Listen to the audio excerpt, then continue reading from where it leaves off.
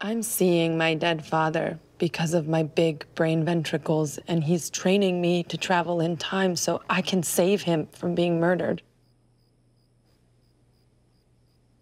Uh.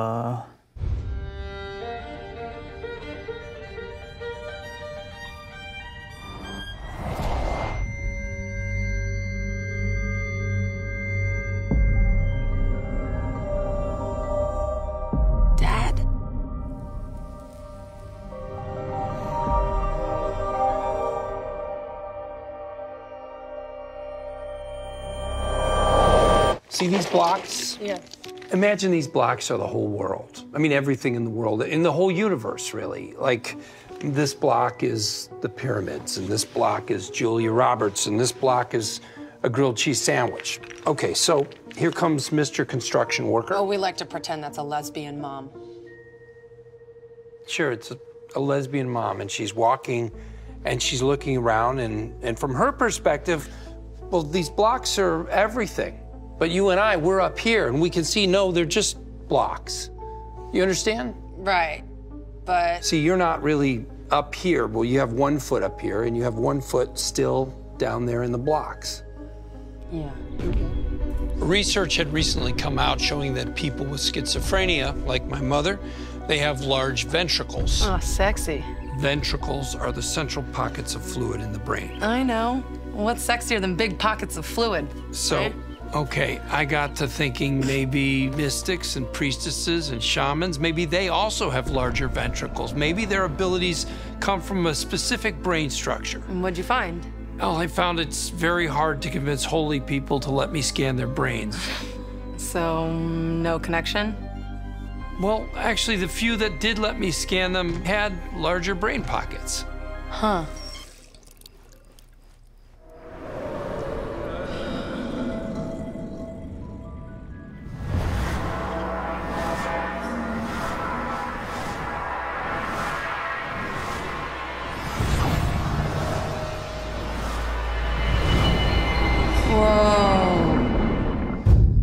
You see what you're capable of? Yeah, but this is a dream reality.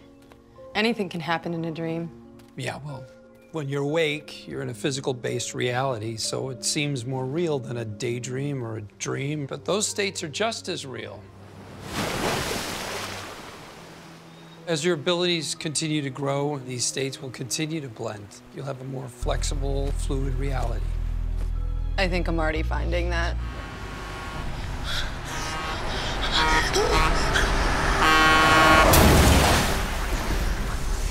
Well, that's my hunch, and I'd go back and find out for sure if I could, but that's why I need you.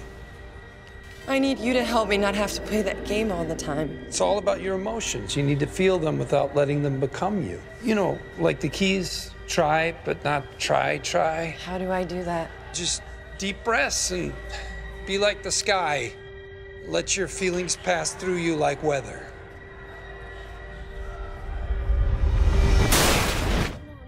Not again, Dad. I don't These are all moments where you felt deeply and the pain was too uncomfortable to process, so you stored them in your mind's basement, the subconscious. Even feelings you don't remember take up residence. Is that me with your mom? I met Geraldine. Yeah, even feelings from your lineage. My feelings. Geraldine's feelings. All of this, all of these streams of lifetimes of suffering are carried through your mind and body. Even the good feelings. You have to let go of those too. They can't be who you are if you want to be free.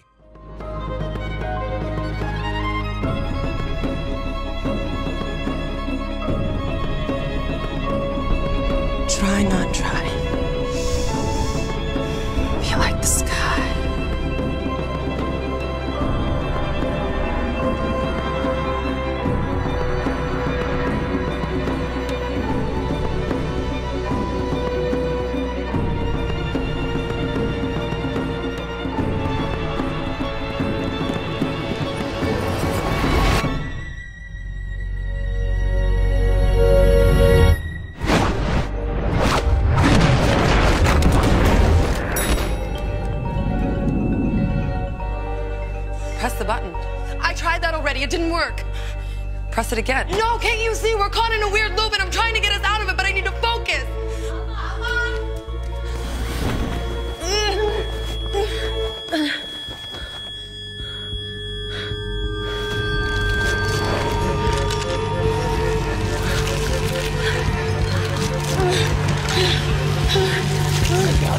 Gotcha. Yes, gotcha.